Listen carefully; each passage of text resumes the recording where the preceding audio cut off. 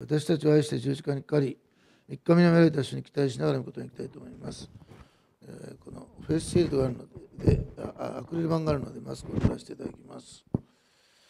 それでは、えっと、今日の1分動画ですけれども、今日はですね、最初に、えっと、みなえっと、宮崎の南ゆいちゃんのですね、えっと、えーなんだっけ、最高の贈り物ってね、えーねそれを聞いていただきたいと思います。はい、そしてその後にカンボジアの個人のことをですね、えーのぞみさんが語っていますので、それを見ていただきたいと思います。はい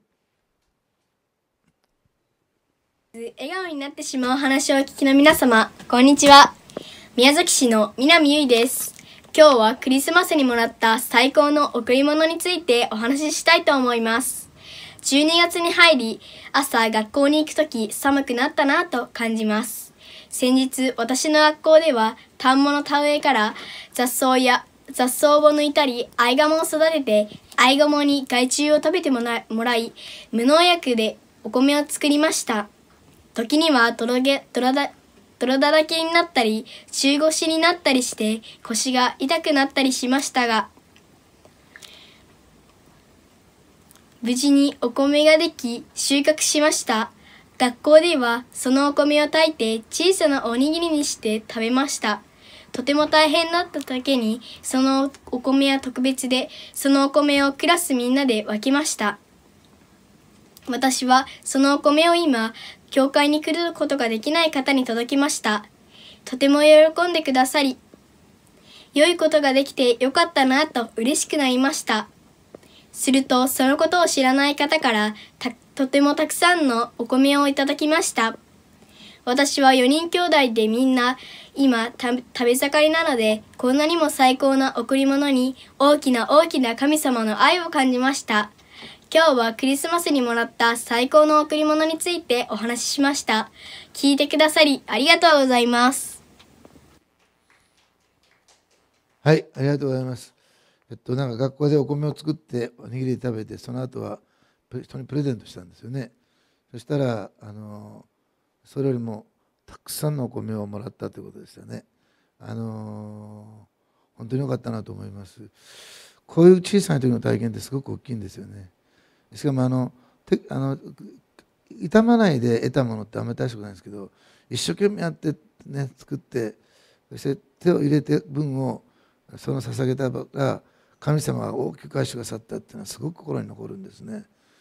すごいなと。これ送った人のこと知ってるんですけどもあのそんなこと全く知らずにお米を示されてお米を送ったその人ね。そしたらこういうことだったんですよね。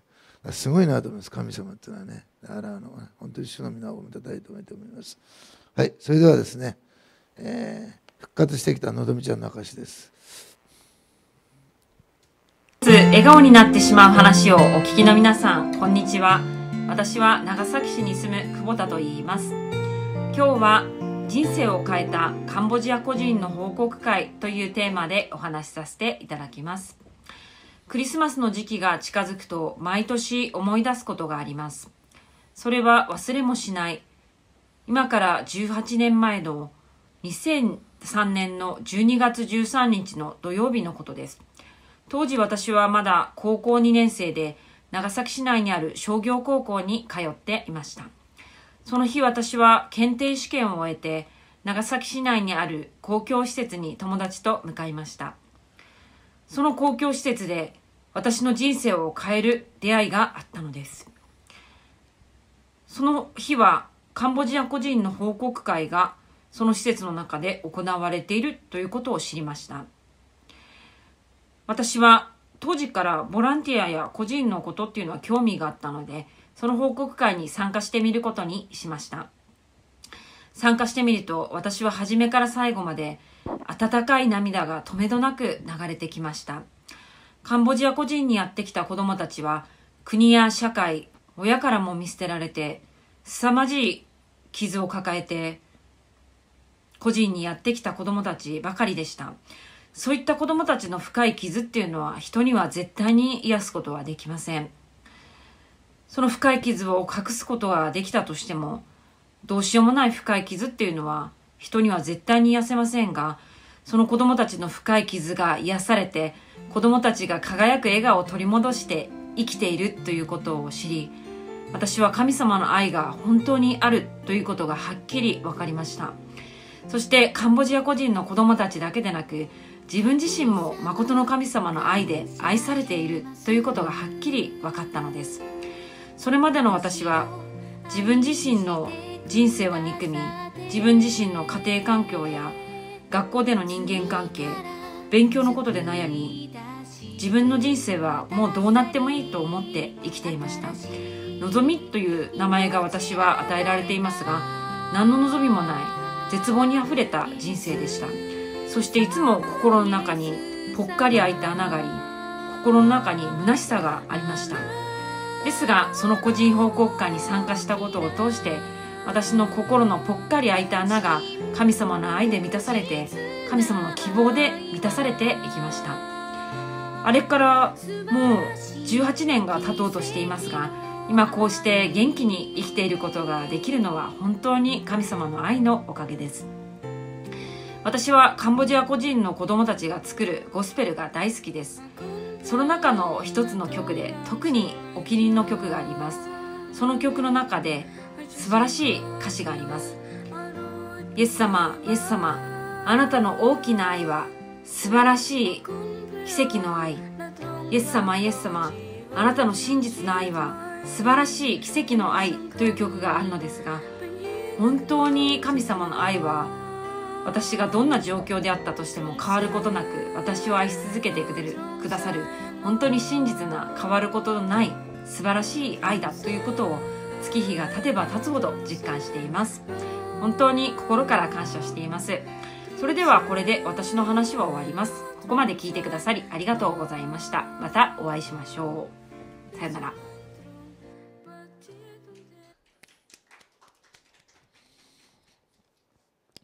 えー、っとね、思い出しますね、まだ高校2年生だった頃のことを。本当に良かったなと思います。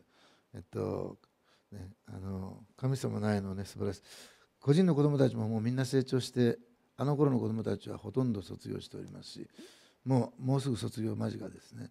だからあの今、新しい子供たちが来ていますけれども、またあのコロナが終わったら、カンボジアにもダンビアにも行って、と個人の本の第2章をね、書かないといけないなというふうに思ってますので、まあ、ぜひねあの覚えてお祈りください。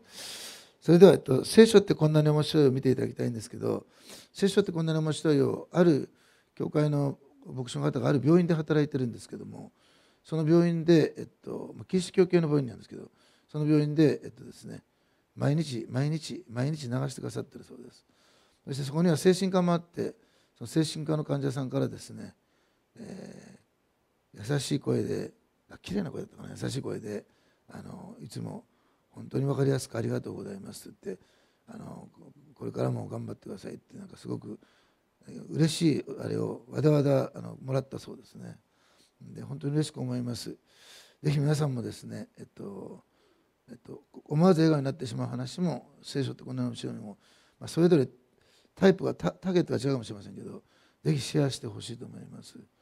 えっと、聖書ってこんなのしないはもう今は500ぐらいだっけ？500超えてますよね。ありますから、えっと、必ず一つや二つはこの人に伝えたらいいなって思う話があると思うんですね。長くても5分です。意識して私は12分。できれば2分。できるだけ短く簡潔に意識して書いてるんですね。それが聖書ってこんなの面白い話なんですね。長々話すよりもとにかく短く簡潔にしかしっていうことで書いてるのでぜひですね用いてほしいと思います。あとまあ思わずが証ですので体験談ですのでね、えどんどん用いてほしいと思います。予言がありましたけど踏み出していく時に働きが起こるんですね。あいいなと思ってても何も起こりません。踏み出していく時に起こるんですね。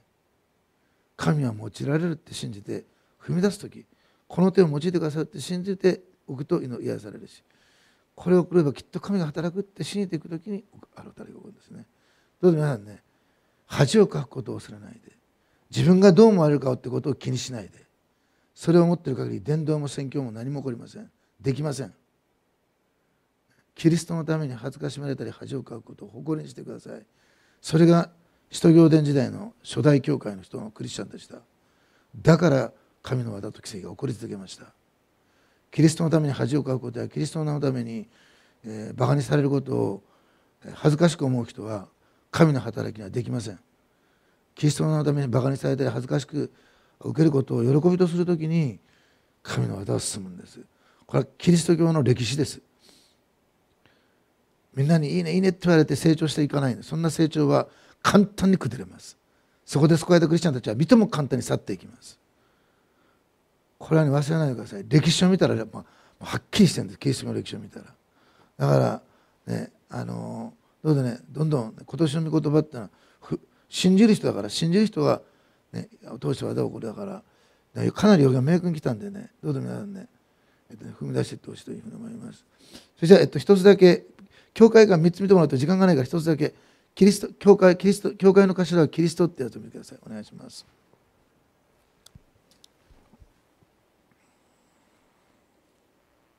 教会の頭はキリスト。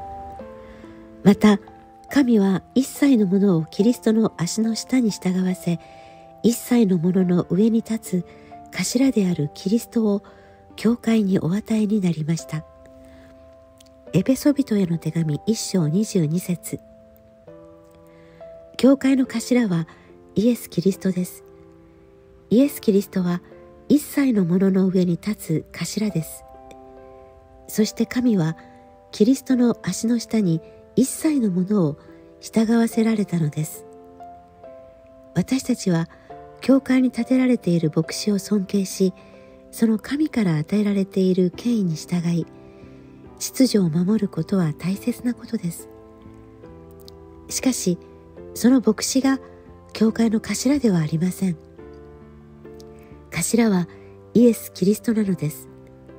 すべての教会の頭はイエス・キリストなのです。私たちが頭がキリストであることを信じ認める時教会は正しく力強く動き出します。一切のものの上に立つキリストが教会の頭なのです。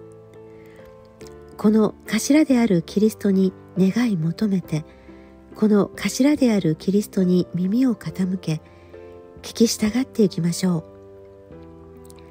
教会は力強く前進しあなたも豊かに祝福を受け成長していきます。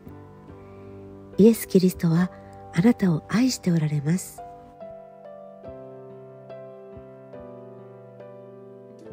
はい。はいありがとうございました。それじゃあ、えっとですね、聖書からお話をしていきたいと思います。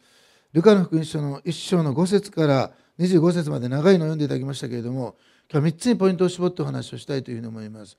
1つ目、えー、13節見つかいは彼に言った。怖がることはないダカリア。あなたの願いが聞かれたのです。あなたの妻エリザベトは男の子を産みます。なおヨハネとつけなさい。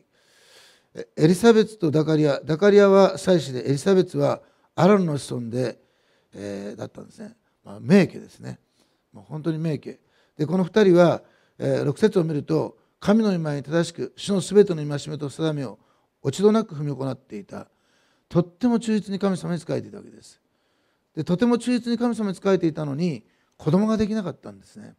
で旧約まあこれ新約に新約聖書に書いてあるけどまだ旧約です。キリストが生まれる前だからね。この時子供ができるということは祝福なんです。言い換えれば子供ができないっていうことは呪われてるとは言わないけど祝福はされていないわけですね。うちなんか祝福がいっぱいですよね。これはあのそうなんですねだから、えっと、忠実に神に仕えているアロンの家柄もよく本当に忠実にだから先祖代々やってきて今も忠実に仕えている。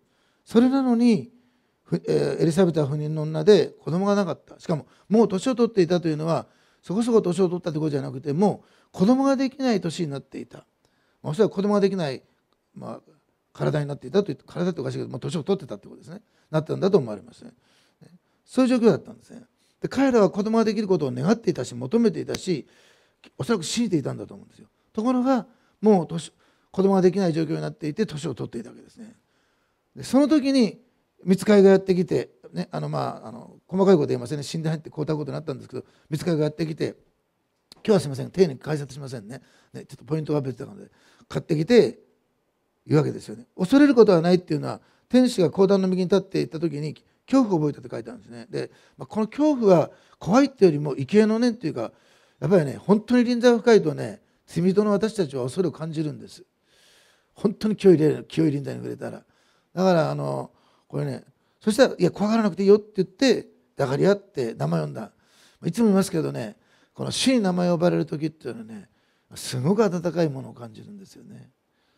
あの人もそうですけど名を呼ばれるってやっぱり特別だと思います、ね。まあ、いつも言いますけど日本の夫婦はねお父さんお母さんって子供を中心に関わりを持とうとしますけど本来ねあの聖書が入っていた世界はねファーストネームファーストネームって名前でいいのかな？そうですよね。ファーストネームで呼ぶんですよね。でなぜかってその人なんですよね。でこれ抱かり合って名で呼んでくださったんです神様ね。そして抱かり合ってあなたの願い聞かれたんだよってこう言われたんですね。えっと思うかもしれない。彼が願ったことはつまり妻のエリザベスが子供を設けしかも男の子を設けて名前までしてされたヨハネって。でここ面白いのはね後で言いますけど、えっと、条件ないんです。あの願いかれたよって。男が生まれるよ。名前ヨハネだよって。もう全部指示でしょ。わかりますね？こうですね？で抱かれて一緒見たらやっと願いかれてよかったんですけども、まあ、長すぎたからこの時すぐ信じれないんですね。長すぎたからね、まあ、でももうおそらくもう子供はできない時になってたと思うんですよね。で今日一つ目のポイントはね神様は言ったらその通り与えるんですけどじゃあなんでこんなに長く待たせたんでしょう。忠実に使えてるんですよ。例えば答えられないとすぐ日本人的な発想でいけばね罰が当たった。なんかすごく忠実に見えるけど裏で何かしてるんじゃないかしら。真面目な人ほど自分が、ね、自分を掘り下げてきっと私何かあるって。あそういうタイプいそうだななんかね。なんかねこれねなんか悪いことがあってあきっと私何かってね。あの自分をチェックすることは必要ですよ。あの悔い改めることは必要だから。だけどそれそれにこの2人は聖書が忠実に使えてたって落ち度なくて書いてあるのが聖書が、ね、だから本当に忠実に誠実にやってたんだと思うんですね。あの非難されるところがなくて書いてあるんですよ。別訳だとね。ところが子供ができなかったんです。どうしてだと思いますか？この子供はバブテスマのヨハネなんです。イエス・キリストの道道内をする人なんです。旧約でイエス様は予言されてましたが同じように道道内をするエリアって言われてて道道内をする人バブテスマのようなことも予言されていた人なんです。イエス・キリストが女から生まれたものの中で最も優れたものと言ったんです。もちろんイエス様を信じた私たちの方がそれよりも優れていってすごいことなんですけどもでも肉として生まれた人の中では最も優れた人とイエス様が言った人なんですでその最も優れた人キリストの道道内をする人をこのエリザベスとダカリアとエリザベスは産むだけじゃなくて育てるんですよ。人ってね育てるんですよ、ね、育てるって簡単なことじゃないですね。だからねあの今日本はね経済のことばっかり考えるから子供の、ね、数を考えてね1人のか2人の子供に。莫大なお金をかけてやろうとするんですね。でもそのことの報いはこれから来ます、ね、中国が一人っ子政策をしたでしょう。大変な時代になってきてますよね。何かというとね皆さんねあのあのこれ何かってこう育てないといけない。でこのエリザベスとダカリアに神様は長い間待たしてその上ででも与えて今度はあんまり長すぎたから最初信じれない。でもその結果子供がででも神様言われたら与えられてしかもその間、まあ後で言うけど推しになって、まあ、推しって今言っちゃいけないのかな。あの物は喋れなくなってでもそのことを通して彼は忍耐と神の言葉の真実と神様の素晴らしさを頭じゃなくてもう身に染み込んで分かったんですよ。そして子供が生まれた後あの信仰の訓練って何か知ってますか？信仰の訓練のね核はね忍耐なんです忍耐を学んだ人は信仰の勇者なんです。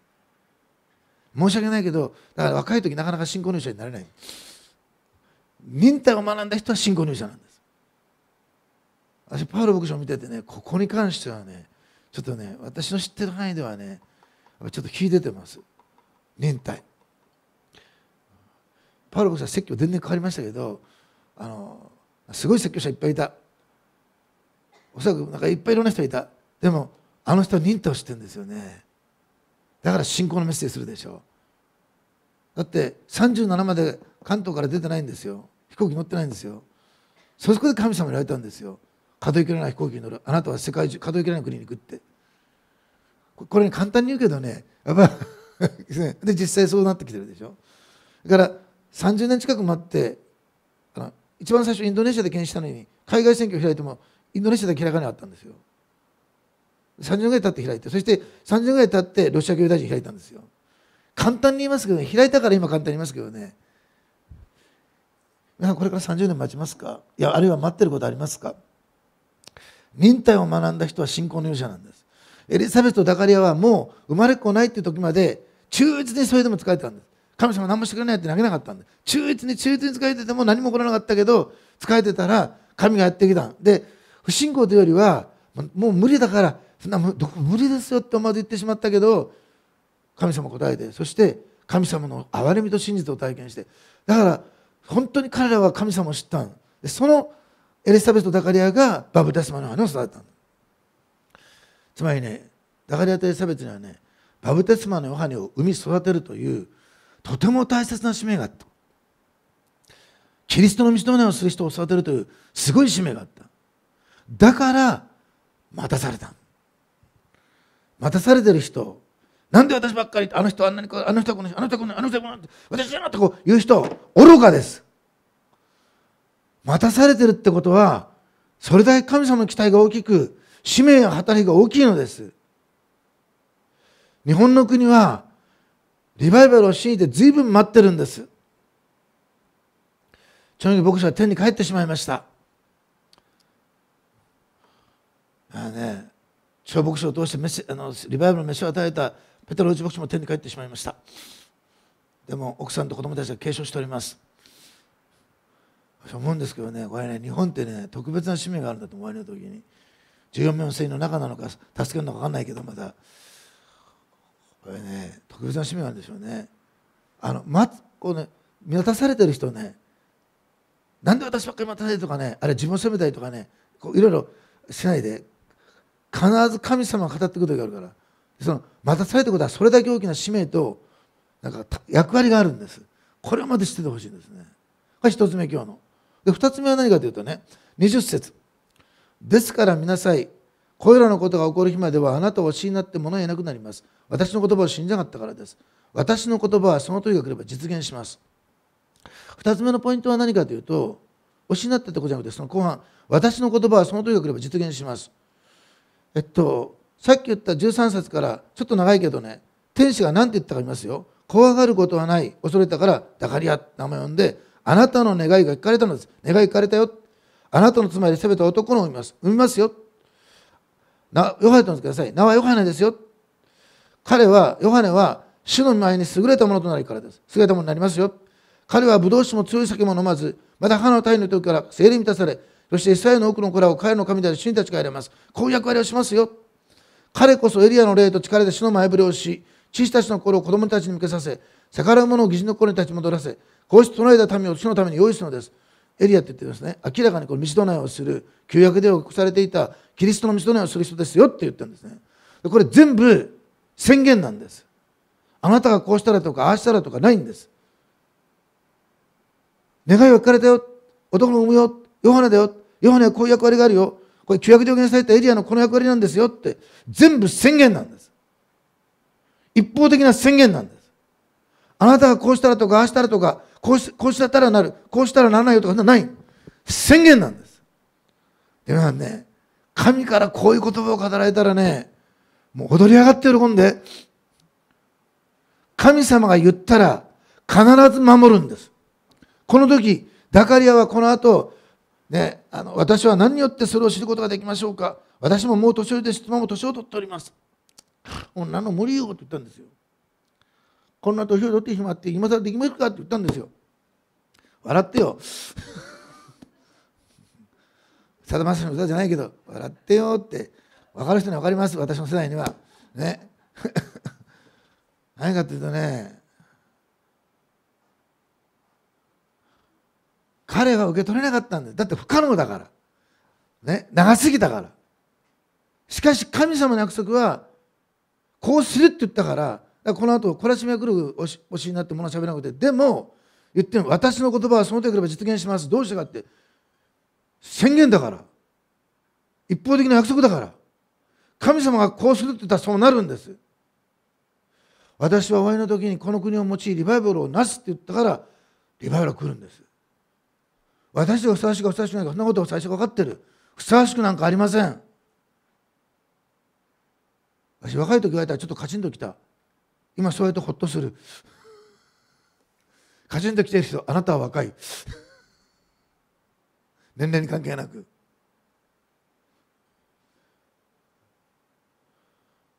ふさわしくなんかありませんよ。すごく心から信じる時あるでしょう。感謝してください。信じない人を裁かないように。ザカリは忠実だったんです。神に選ばれたんです。神に選ばれたんです。神に選ばれたんです。選ばれるほど素晴らしかったんです。ところが受け取れなかったんです。でも選びは変わらなかったんです。一方的な約束で宣言だから。神が言ったらそうなるんです。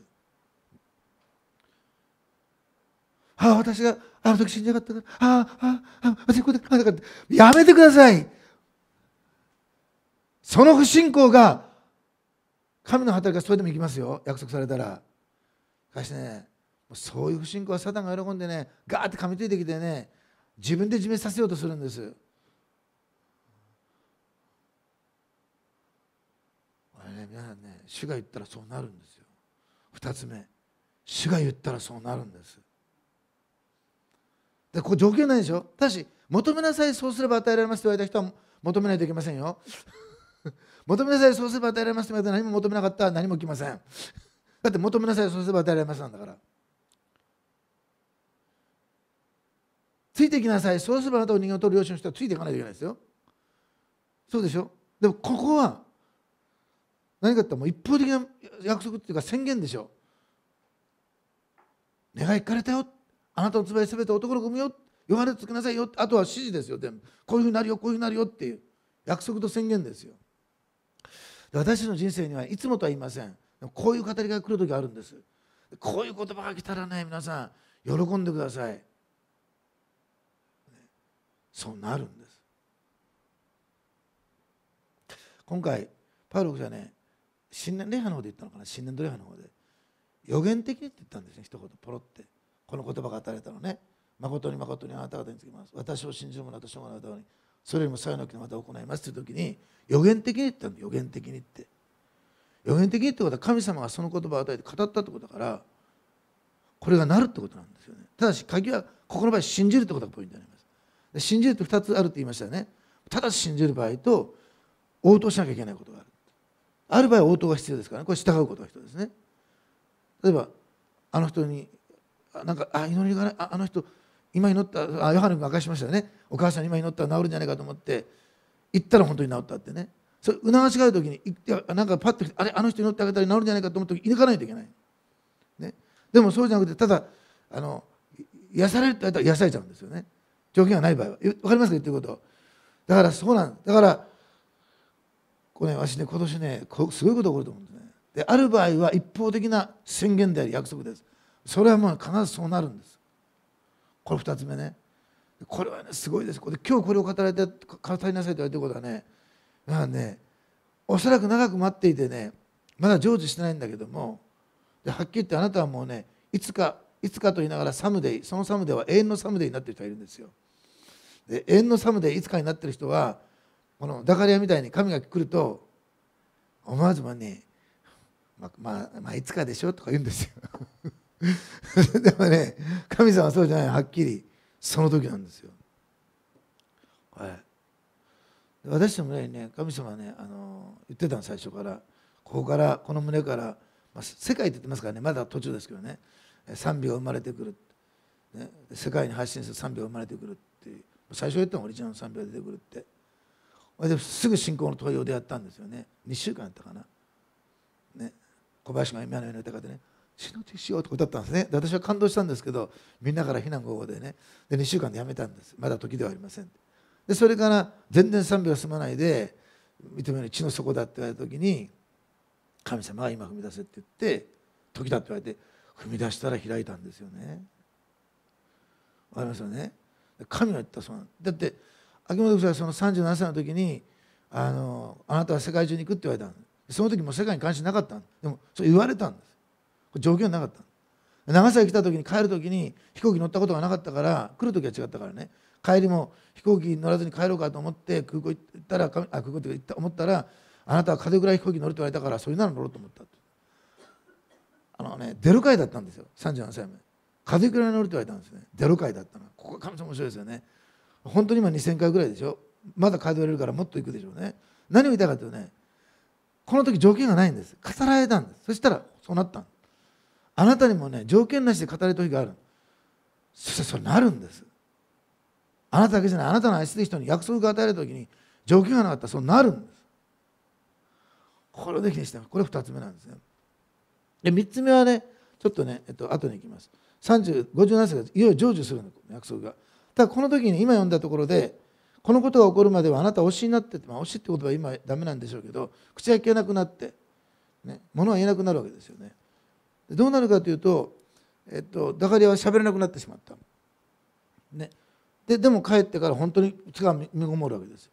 これねととき10日の間ね喋れないんですよね。妻はだんだんお腹大きくなってきてね、まあ、初めての子供がしね年を取って生まれた子供は特別に可愛いでしょうからねお腹に座ったりね耳当てたりねあ蹴ったとかね奥さんが言ってあ動いてるとか言ったら、ね、えとか言ってねえとか思うけどえっ？て言えない動いてるとか言ってねとか言ってね だから全部筆談ですよね。でもいつも言うようにいいことは一つあってね夫婦喧嘩はしなかったんですね。これは素晴らしいことですよね。ね。夫婦喧嘩の声かないで座った子供ってのは穏やかに育ちますね。ですね。これねよかったと思う。だけどこれね本当にザカリアはね身にしみて思ったと思うんですよ。神の言葉は本当にそうなるんだって。なんて私は不信仰だったんだろうかしかし神様は本当に信じた。本当に自分の不信仰とか弱さを身にしみてとつきておかないだ。もうもうずっと思い知らされてでも一方で神の言葉の真実と神は言われたことを本当になされるってことをちょっと響くな痛いほどにこう体験したんですね。これはね見事でしたよね。それでそのことを体験した結果どうなったかというと57節ね。さて月が満ちてエリザベツは男の子を産んだ生まれた、ね、近所の人々や親族はまあ、まあ、喜んだ後にすいません飛ばしますね。8日目に割礼を施すんだけどその時に名前も付ける。で当時は父の名にちなんでつけるんです。日本人も例えば普通の日本人だったら例えば私だったら「誠」っていう字があるから子供に「真摯」とつけたり、ね、よくあるじゃないですかそういうことが、ね、ちょっと私の世代かぐらいまではあったね。最近は全然ないけどね。でもあったですね。ところがねあのだから当然ダカリアって、ね、父の名私も一番下の子にイザヤでつけましたけどそのダカリアってね名付けようってこう言った、まあ、それは普通当時普通なんですそれが。だからダカリアにしましょうって言ったら奥さんが「いやそうじゃない」って言ったの。おそらく筆談してたんですよね。こういうことがあったんだよって。だから「いやそうじゃなくてヨハネです」って言ったらねみんながね「はあ?」って言ってねヨハネが悪いってじゃなくてそんな名前ないからそれはちょっとえって言ったら、まあ、じゃあご主人に聞いてみようってご主人に言ったらご主人が書き手を持ってかして「よはね」って書いたんですね。これね手に書いてみたいんだよこのシーン。本当に見たいんですね。聖書の中で見てみたいシーンってありませんか？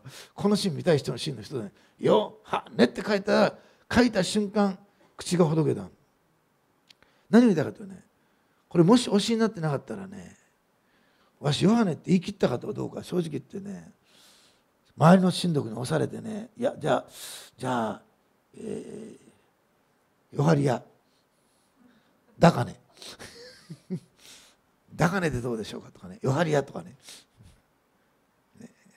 ヨハネだからやでどうでしょうかとかね。いや笑いますけどね。私は申し訳ないけどだから屋さんは怒られるかもしれないけど従えたかどうか分かんないと思いますよ。本当に。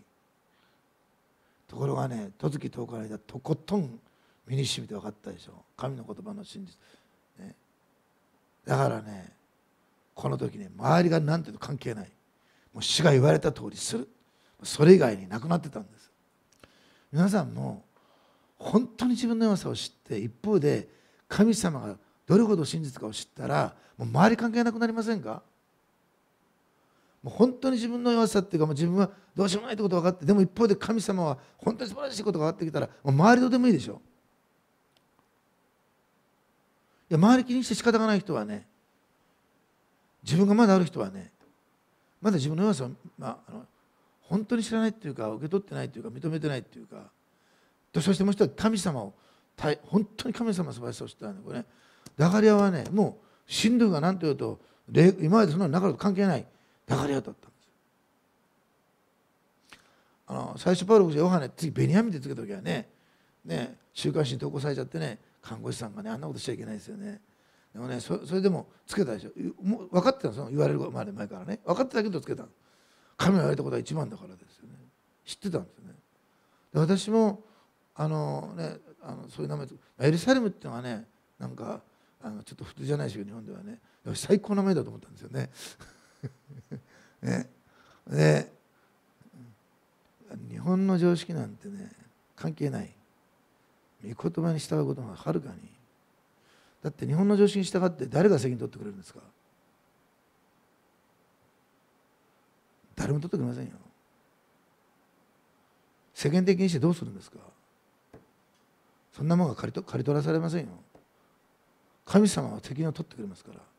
神様はきちんと報いてくださいますから、ね、でこの時ね「よくはね」ってちゃんと書いてある従ったんですよ。その瞬間口がほどけた。こう書いてあるんですよ。感動するとかね。親族何もいないよって言ったら彼がすると63です彼は書き手を持ってこさせて彼の名はヨハネと書いたので人々はみんな驚いた。えー、ヨハネって言った。らすると立ちどころに書いた瞬間彼の口が開け舌は溶け物が言えるようになって神を褒めたたえたんです。ダカリアが初めて口を開いてした言葉は神を褒めたたえたんです。ハレルヤかプレダローとか分かんないけど神様を賛美したんです。神様感謝します。ハレルヤありがとうございますって。最後に言った言葉知ってますか？さっきの言葉ですね。ちゃんと言いましょう。私は何によってそれを知ることができましょうか？私ももう年寄りですし妻も年寄っております。私も妻も年寄りを年寄り年寄り年寄りにはできない。年取ってできない。年取ってできない。年取ってできない。年取ってできないって言ってる人いるでしょう。今日から推しになってください。そして本当に神様が言われたことはそうなることを身に染みて体験して今度口開く時は賛美しか出てこないようになってください。神様はこの時ねとき10日の間話せなくしてとことん彼を懲らしめて訓練訓練した試練を与えた。でもそれを通して彼はどうなったかというと賛美する口が与えられたんです。バブテスマのヨハネはお父さんの賛美とともに生まれ生まれてきたんです。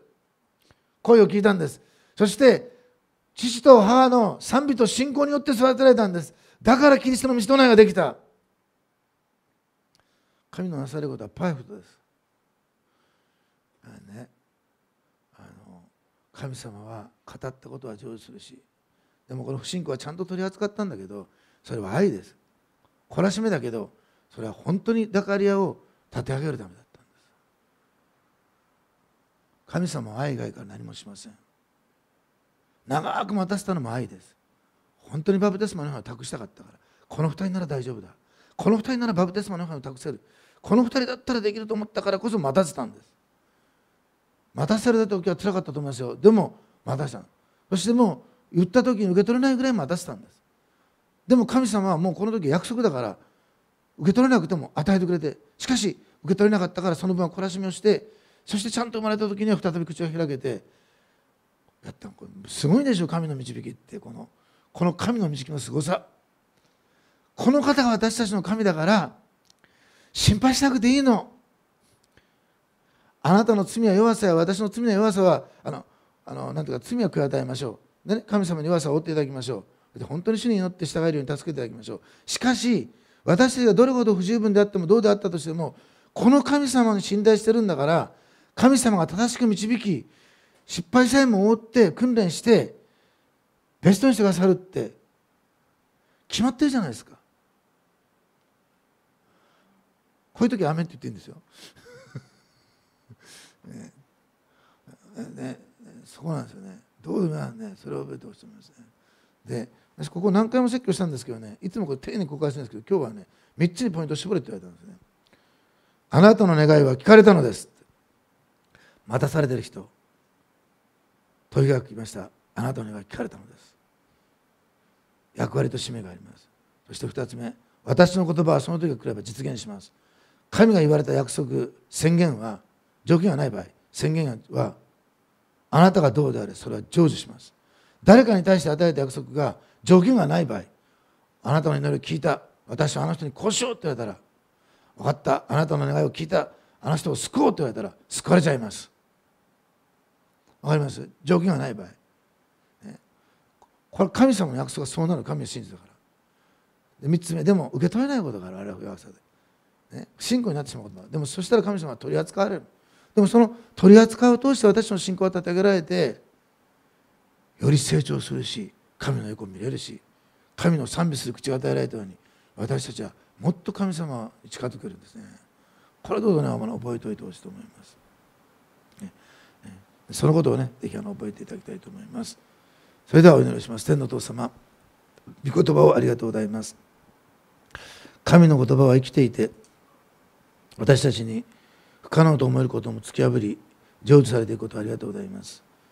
あなたは長く待たせても必ず日が来るで答えてくださり栄光らしくさることありがとうございます。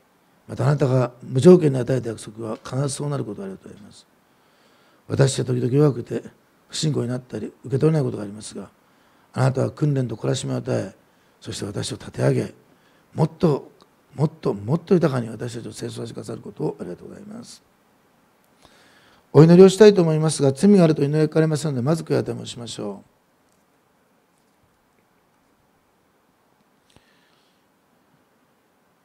主は何をしてほしいのですか？と言われました。今神様に素直に大胆にあなたの願いと求めおっしゃってください。主はその願いと求めに答えられます。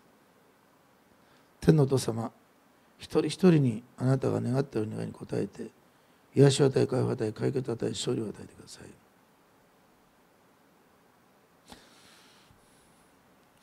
恐れてはいけません。もうあなたの時はすでに来ています。待つのではなく信仰の足を踏み出しなさい。私はあなたに用意している働きがある。教会での働き世の世での働き。私はあなたにステージを用意しておりあなたが踏み出すならばあなたはそのステージで輝くでしょう。騙されてはいけません。あなたにはその賜物能力を私は与えておりまたその場所を用意しているとしわれます。疲れを感じている者よ。あなたの告白を変えなさい。あなたは現状や自分の年齢や自分の状況ばかりを語ります。しかし神の言葉や約束を語りません。私はあなたに与えた。みずみしくなると。ひとときあなたは言いましたがいつからあなたはそれ言ってないだろうか。毎朝毎日繰り返し繰り返し言いなさい。私はあなたをみずみずしくする。神に言われた言葉を告白しそして進みなさい。全く新しくなるとしわれます。癒しのために乗りたいと思います、えー、傷んでいる場所に手を置きまた、えー、ここにいなくても誰か、えー、重荷を持つ人がいたらその人のことを思い浮かべてください。ここにキリストがおられますのでそのキリストに期待して私が祈りますので心を合わせてお祈りしてください。2人でも3人でも心を一つにして祈ると答えられると書いてありますから心を合わせて祈りましょう。主が答えて癒してくださいます。天のお父様あなたは癒し主。そして癒してくださる神であることをありがとうございます。そのあなたに今キリストの何をって祈ります。イエス様あなたが手を触れて今傷んでいる場所に手を触れて痛みを取り除き腫れを引き根本から癒してくださり病を完全に治してください。ここにいる一人一人この人一人一人が今祈っているその方に今その方はどこにでも何をしていてもその方に触れて癒してください。主イエス・キリストの名によって癒されよ。癒されよ。癒されよ。イエス・キリストの名によって治れ。治れ。治れ。腰に手を置いてください。イエス様って腰を完全に癒されよ。歯に触れてください。歯の痛みをイエス様って消えてなくなれ。指指に触れてください。指を完全にやっされよ。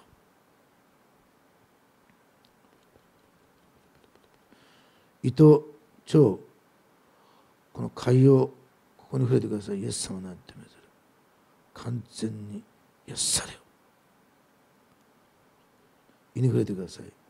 完全に癒してください。耳に触れてください。耳を完全に癒してください。内耳に触れてください。イエス様ってめずる。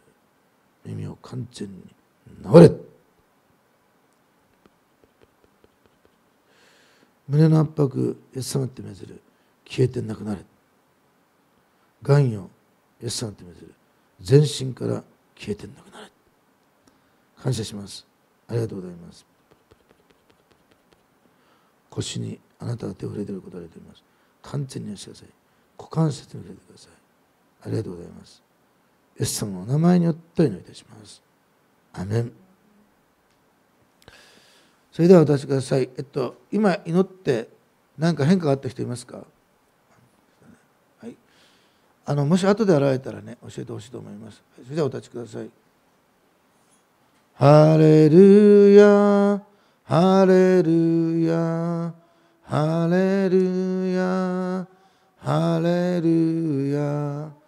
ハレルヤハレルヤハレルヤハレルヤ仰ぎ恋願わくば主イエス・キリストの恵み父なる神の愛正論親しき交わりが私たち一人一人と共に一同と共に今も後もとこしえまでも豊かに限りなくありますように。アメン。どうぞお座りください。それではお知らせをお願いします。